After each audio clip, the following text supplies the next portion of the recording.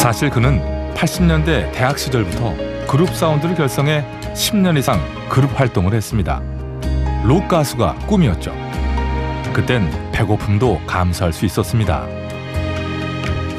제가 애가 생기면서부터 가정이 생기면서부터 음, 장르 변화를 했죠.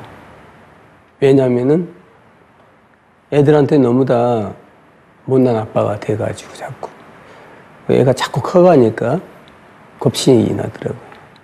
일단 돈을 벌어야겠다. 음악을 하면서 돈 벌 수 있는 방법이 뭘까라고 생각했죠. 그러다 보니 그때 당시 가장 음, 영향력 있는 음악이 트로트였어요. 두 아이의 아빠로서 책임을 다하고 싶어 선택한 길. 하지만 트로트의 길도 서럽고 배고팠습니다. 내는 앨범마다 빛을 보지 못하고 이 길을 가야 하나 기로에 서는 날도 있었죠. 그러던 2002년 이 노래가 전국을 강타했습니다. 사랑의 그 약속을 내팽개치고 떠나가는 여자야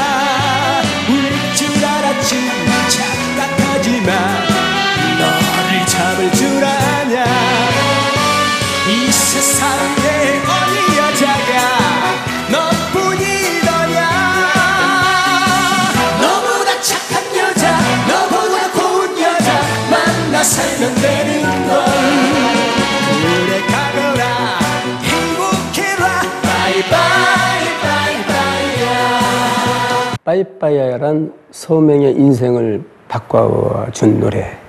소명의 무명을 빠이빠이 시켰다고 생각하죠.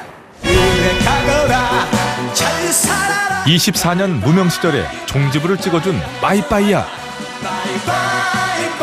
성인 가요 부문 250주간 톱10이란 진기록을 세우고 소위 잘 나가는 트로트 가수가 됐죠.